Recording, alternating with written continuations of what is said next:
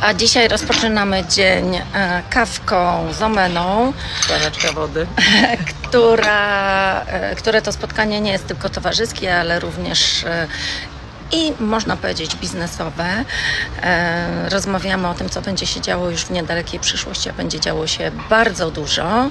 E, Słuchajcie, o po prostu musiałam wyciągnąć Gosię, będąc szczerym. Nie chciałam do niej dzwonić, nie chciałam do niej pisać, tylko chciałam jej to osobiście po prostu powiedzieć. Zaprosiłam ją do bardzo ważnego projektu fundacyjnego, no, żeby zasiadła w Radzie. No i, To ogromny zaszczyt no dla tak mnie. Się, I się zgodziła.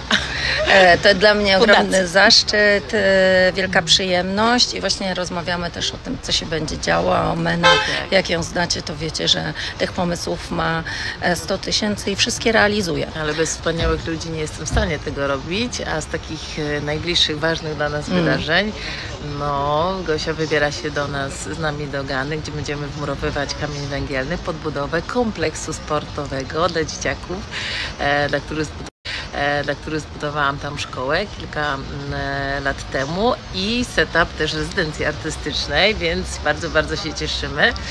To niewiarygodne, ile robisz, to niewiarygodne, w jakim tempie działasz, a my możemy się temu przyglądać i też wspierać to, więc to jest e, naprawdę bardzo cenne. Więc my, kochani, życzymy Wam cudownego dnia. Tak.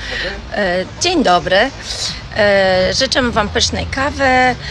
E, Dzisiaj dużo wody bez gorącej. Bardzo. Jest moja Gosiunia. Jest moja. Gosiunia jest kochana, bo się zgodziła pewną ważną funkcję e, objąć tutaj w naszych działaniach charytatywnych. Z ogromnym Tak zaszczytem. Słuchajcie, z ogromnym zaszczytem e,